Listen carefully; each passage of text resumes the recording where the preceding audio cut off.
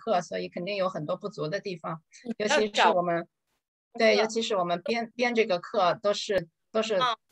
嗯，从自己的这个角度出发比较多，所以很肯定就是没有考虑到大家的需要，所以请大家一定要给我们多提建议和意见，嗯。对，然后今天，嗯，其实我是想给大家分享一下，就是前几周那个内容里面的那个啊选读的内容里面一些我觉得比较好的，因为嗯，就是大家看到那个课程的材料上面下面有选读的材料，我想可能大部分人也不是大部分，可能有的人就是没有时间看那么多，但是我是，就是我觉得那些都很好，就是希望大家有空以后慢慢还可以看，所以我想就是今天。嗯，摘摘一两条，我觉得特别好的，给大家分享一下。然后首先呢是这个，嗯，这个呃基础理念课。对这个课，因为我们现在是从这个 Telegram 进去，就是不大容易转到那个微信里面。所以，假如你你那个链接不 work 的话，你就是在微信里面先查找一个 official account 叫千聊，就是在它的公，就是在添加公众号的地方找一个叫千聊，然后你加了这个。啊，account，然后加了这个公众号，你 follow 它之后，在它的页面下就会有就会有这样的这样这样的页面，你到这里去找我的，或是啊找我的课程，然后就可以进到他的那个那个千聊他自己的页面里面，然后在这里你可以可能是在这个推荐或者什么，你可以找到这里有一个搜索的地方，你在这个搜索的地方填。啊，基础理念课就可以找到这个课程。对我，我其实还是非常推荐，尤其是在国内的，嗯，想要在家教育的家庭，一定要看这个课程，因为，嗯，他讲的那个老师讲的就特别针对国内的情况，嗯，所以，所以就是。对，所以我在这里再给大家提一下，但是就是你们可以看到这个老师他们家有别的课，那别的课我就不了解了，所以我只是我自己看过这个基础理念课，我觉得很好，所以向大家推荐一下。另外可以给大家介绍一下，啊，就是关于这个讲课的老师，有一次我在他群里讲，看到他就讲到这个教育观，所以我觉得他讲的特别好，因为有人就贴了一个转了帖子，就讲到现在国内对于教育的就是焦虑的问题。然后他就讲说，嗯，就是现在大家一般认为的教育观是这样的，但是其实神给我们的教育观不是这样的。那如果，嗯，就是就是我觉得从这样的话就就可以看到，其实这个老师就是对对教育对这个基督教教育的理念，他是有很很深入的思考的。然后，嗯，关于他的这个课，嗯，我就摘一张这个。啊，我觉得比较好的一个关于嗯在家教育的一一个 slide，它就是说，就像我们一直说的，就是在家教育是神到家里来教育全家人，所以不光是啊教导孩子的学习，其实就是也教导很多家里面，就是帮助父母也更加变得嗯像主耶稣。嗯，帮助父母也也一起跟孩子一起成长，一起进步，也特别是帮助大家来继续建立合神心意的嗯家庭关系。对，这个是嗯关于这个课的介绍。然后，然后另外一本书叫嗯《Teaching from Rest》，大概中文中文还没有翻译，但是可以就翻成叫从安息中教导。那我觉得它里面讲的，它的第一。第一部分的标题就，嗯，对，特别的打动人。他就说：“你，你那么努力是为了谁的夸奖？”对我们，对我就想，像我们，啊，都都做妈妈，呃，做爸爸妈妈，然后本来就已经很忙了，然后再要加上在家教育就更忙了。而且我们每一个人都试图在每一件事上做得很好，所以我们每件事都特别努力。但是我们就是要常常要记得停下来想一想，我们。那么努力做好那么多件事情，我们是为了谁的夸奖？那书上他就说，啊，我们要安息，在在在安息里面才能更好的教导孩子。那安息始于接纳，就是更确切的说，始于降服，就是就是把我自己的计划来降服于神的计划。就比如说，嗯，比如我们计划每天啊早上吃早饭，然后敬拜，然后学。学数学，学英文。那假如有一天早上，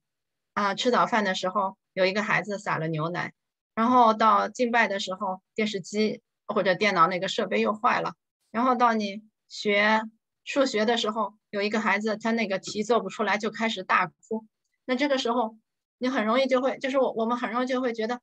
啊，我一天的事情都被搞乱了，怎么一天刚刚开始就乱七八糟那么多事儿？但是假如我们可以换一个角度来看，想到啊，这可能是神给我的计划。就是我有我自己的计划，我安排做这个那个。但是当这些可能是意外的事情发生的时候，可能就说明神对这一天有他其他的计划。那当牛奶打翻的时候，可能就是神希望啊，我们要教导孩子怎样来收拾这些东西。那当嗯孩子做题做不出来哭的时候，可能就是神希望我们来啊更多的安慰孩子，然后来帮助他啊就是。就帮助他练习，不不要不要轻易放弃，也也可以，或许是要教导孩子这么，就是在困难的时候，嗯，更加好的可以控控制情绪，这样，甚至有的时候啊，那弟弟妹妹特别吵、特别闹的时候，可能也是神就是希望我们可以啊，暂时多花一些时间来陪伴小的孩子，或者也是嗯，教导怎么让大的孩子来带着小的孩子一起玩，就是，所以我们需要常常的想到。嗯，就是不不要光想着我们自己的计划，而是要想到当有什么事情发生的时候，可能这就是神的计划。那他书里面还有一句话，他就是说，那除非我们相信神真的会顾念我们，否则我们就不能真正安息在神的怀中。就是我们要知道，就是神神神真的是帮助我们，神真的是知道什么事情对我们更好，所以我们是可以把一切的事情都完全的交托在神的手里。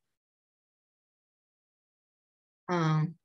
还有一本书叫《嗯 Love the Journey》，然后嗯，这个妈妈她自己有六个孩子，都已经嗯 homeschool 到高中毕业，呃，他们现在也已经很大了。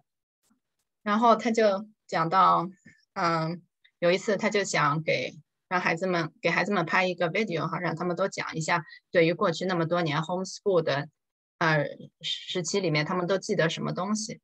然后他就说。啊，他收到孩子们反馈的 video 的时候，他非常惊讶，因为他觉得他自己那么多年啊，勤勤恳恳的教导孩子，研究了很多的教材，然后设计了很多的课程，然后一次又一次的教导孩子，然后教的不会的再教一次，他花了很多功夫来教孩子。但是其实孩子们对这些学习上的事情，就是其实并并并没有什么记得。但是他们反而是记得家里面一些特殊的事情，家里面爸爸妈妈煮的特殊的食物，或者记得他们家人在一起，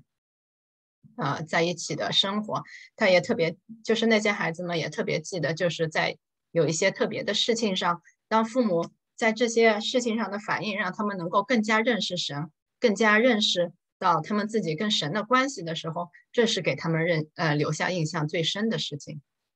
那另外，他也举到说，有一个孩子，他他上大学，虽然是去的一个啊自由派，就是一个比较自由、比较 liberal 的学校，但是他并没有觉得难以适应，因为就是他们并不是就是说像有的人想象，好像嗯 homeschool 的话，孩子就跟外面有有些隔绝，或者会不会有不适应？但是这个孩子就是说，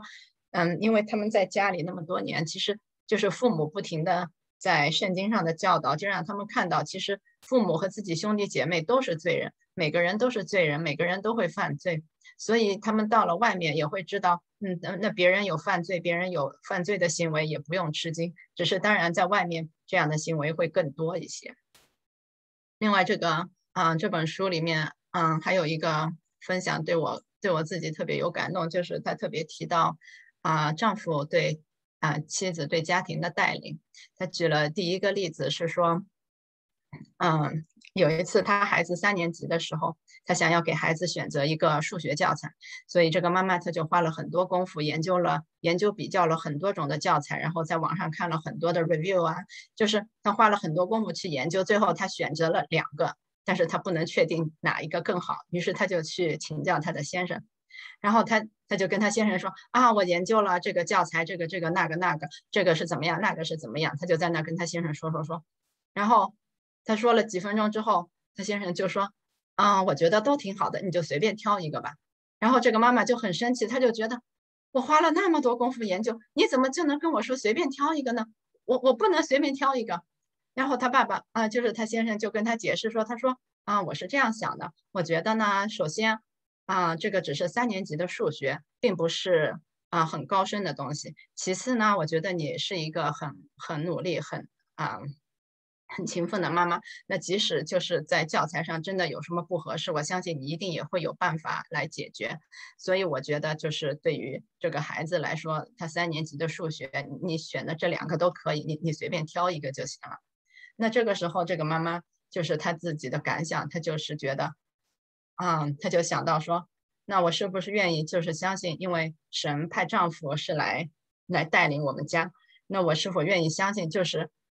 其实很多时候，神就是在通过我的丈夫来给我建议、给我带领，就是能够除去我心里的各种的焦虑和不安。那就是，所以他就是说，那在这个事，就是在在各样的事情上面，你你是否就是愿意相信，就是神通过丈夫给我们的带领？那哪怕就是，嗯，可能很多时候，尤尤其是我想很多家庭来说，可能就是姐妹。嗯，照顾 homeschool 的事情多一些，可能觉得丈夫好像确实都不太懂，也不太参与。那我我我我我以前也是犯这样的错误。那我看了他的这样的分享之后，我就想，就是其实就是先生不参与也没关一一方面就是他就算是不了解细节，但是啊，我就是我们可以相信，就是神还是会带领他，让他知道在大方向上怎样的来带领我们。另外就是当我们愿意跟先生多分享。说啊，嗯，我们今天做了这个，我们今天学了那个，或者我看了这个讲座，有什么感想？其实，当我们愿意跟先生多分享，嗯，多多告诉他的时候，他其实是会越来越多了解，嗯，这个 homeschool 的这些东西的。然后他举的第二个例子，他就是说到，嗯，有有一次他们换到一个新的教会，就是搬家之后换到一个新的教会，然后那个教会里面有一个就是特别受人尊敬的啊年长的姐妹。啊，就是那种老奶奶式的姐妹，然后那个那个姐妹，她就说，她说啊，呃，什么孩子，你不能让他跟你分开睡觉啊，你一定要抱着他睡觉啊，啥啥啥的，就是就是她说的那一套，就是她有一套她自己非常，就是她说了一套特别的，啊，那个就是养育孩子的她自己的观念，她非常坚定，然后教会里面很多人也都就是跟随她的这个观念，但是但是这个作者这个妈妈。她她不是那样养孩子，她就是她之前几个孩子就是都是就自己放在小床上睡啊或者怎么样，所以他到这个教会里的时候，他就感觉压力很大，他他觉得他需要啊按照那个那个长辈姐妹的方法来教孩子，否则啊别人都会觉得他很怪或是怎么样，所以这样的事情就给他很大的压力，因为他觉得他自己不可能按照啊那个人的方法来教。于是有一天，她就跟她丈夫就哭诉说：“哎呀，我觉得压力好大，我受不了。”然后她丈夫就说：“那他讲的这些就是这些啊，具体的让小孩睡觉啊，这些方法是是在圣经上有说吗？”那那这个姐妹说：“啊，好像没有，圣经上并没有并没有这么说啊。你你要怎么让小孩睡觉什么的？”那丈夫就说：“那那既然圣经上没有，那你自己喜欢怎么样就怎么样，你不用去听他的。”然后这个妈妈她当时就获得了非常大的安慰，她就说。哎呀，那我真是太感谢了。那个就是我先生，就是就是神借着我先生给我这样的引导，给我这样的保护，让我不再就是可以脱离自己之前的各种各样的焦虑啊什么的。而且在那之后很多次，就是每一次他有什么难处或者有什么嗯，就是有不平安的地方，他都凭着信心去相信他嗯他先生跟他讲的就是神要告诉他的话，所以他就。嗯，所以他也是在书里面就鼓励大家，嗯，特别是做妻子的，就是，嗯，可以有有能够更加有信心的来遵从丈夫的话。对，嗯，对，这个就是，嗯，我我大概分享一下这几个这几本书里面，我觉得，嗯，比较比较特别的内容。然后，嗯，对下下一课的话，主要是讲就是。